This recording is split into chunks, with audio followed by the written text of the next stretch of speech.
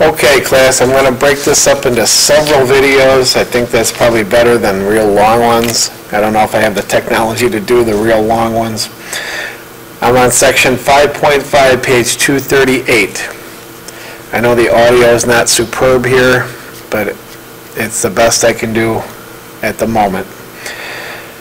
Powers of 10, okay? We've dealt with powers of 10 before, right? We know that 10 to the second power, what does that mean? It means 10 times 10, so it's 100. Okay, two zeros, power of two, two zeros. You know, 10 to the fifth power would just be a 1 with five zeros. Okay? All good. We had a couple special cases, like if we had, you know, 10 to the zero power. Anything to a zero power just has a value of 1. Okay? And 10 to the first power looks a little awkward. We, we don't usually write that 1 up there, but that's just 10. Okay? We've pretty much seen that stuff before. Okay? What we haven't seen before is when we start dealing with negative exponents. Okay? We are going to see that if I have 10 to the power of negative 1, that's really the same thing as 1 over 10. Okay, it has nothing to do with a negative number over here. A negative exponent does not give you a negative number. A negative exponent is like flipping the fraction over. Okay, think of it as a fraction.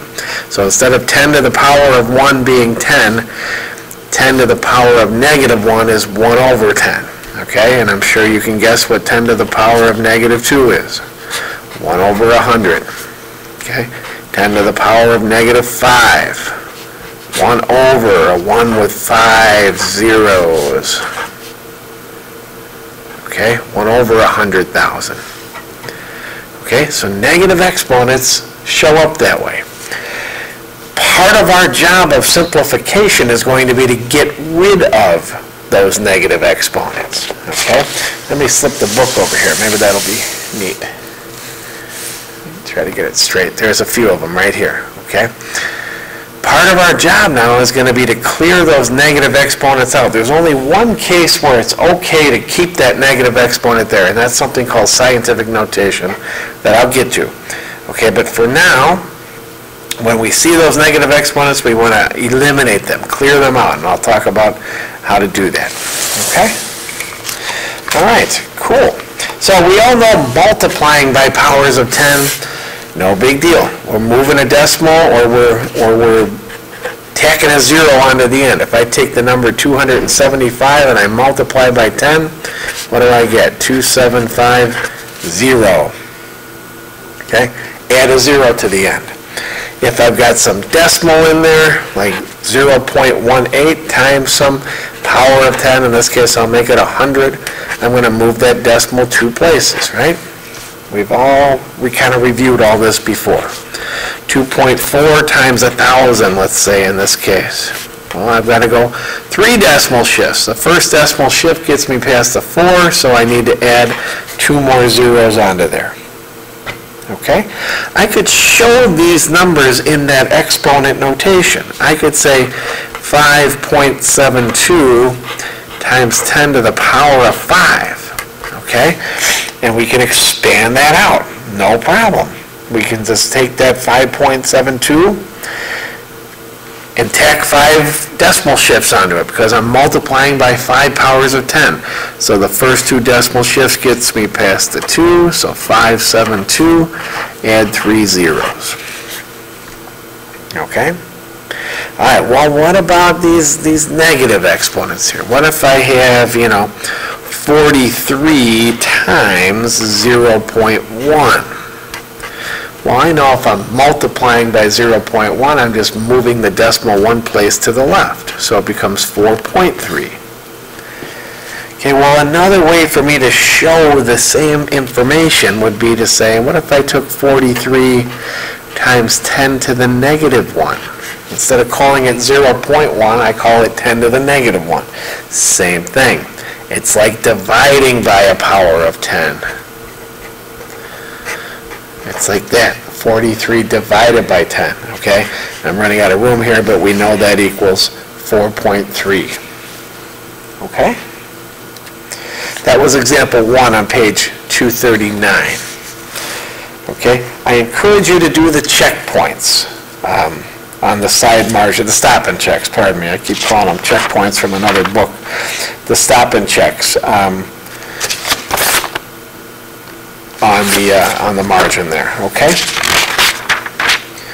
All right. Oh, there's a couple more, my bad. Or one more. Part F here says 2.3, 2.3 times 10 to the negative third power. Okay? Well, what does that mean to us? That means 2.3 divided by a 1 with three zeros, okay? It's a division problem now instead of a multiplication problem. That's all that negative exponent does, is it turns it into divide by a certain power of 10 instead of multiply by a certain power of 10.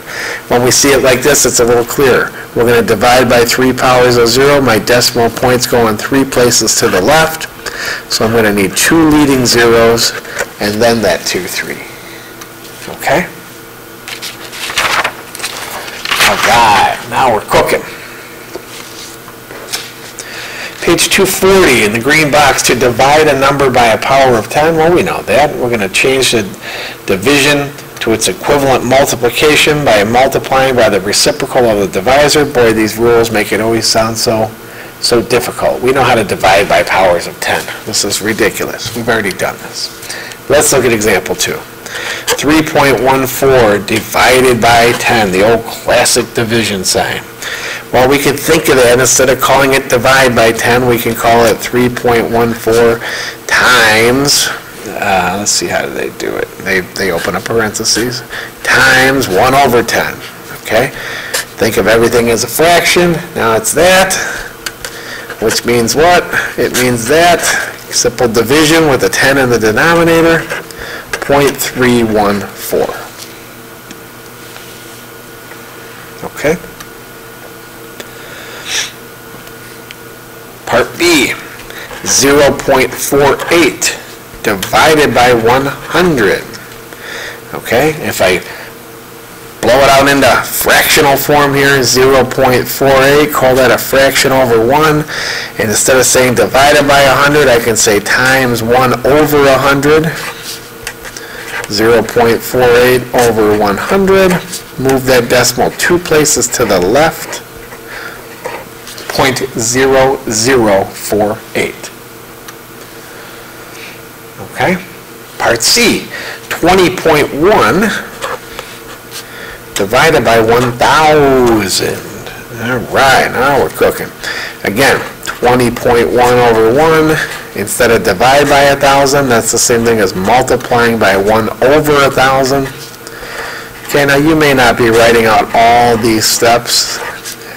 Generally speaking, I'm not a fan of skipping steps, but this little step here in the middle, you know, I would maybe jump straight from here to here. Let's move that decimal four places to the left, so I need two leading zeros, and there we go. Okay. Part D, 0.1 divided by 10 squared. Okay, so now we've got the exponent of 10 squared there. We can call that 0.1 um, divided by, if we want to write it that way, 100, which means 0.1 over 1 times 1 over 100. Okay, there's lots of different ways to show this. Okay, we could even show it as a negative exponent if we wanted. We could call that 0.1 times, what is that? That's 10 to the negative 2 power, right? These are all different ways to show the same thing, okay?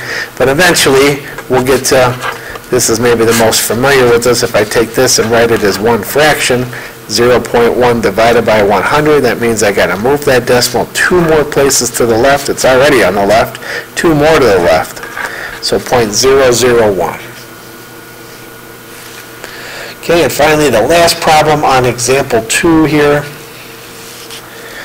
2.5 divided by 10 to the power 3. Well, what is that saying? Well, 10 to the power 3 is 1,000, so it's 2.5 divided by 1,000. Really no reason to write it any different than that, but just to play around with our, our what we've learned here about these exponents, I could call that 2.5 times 10 to the negative 3.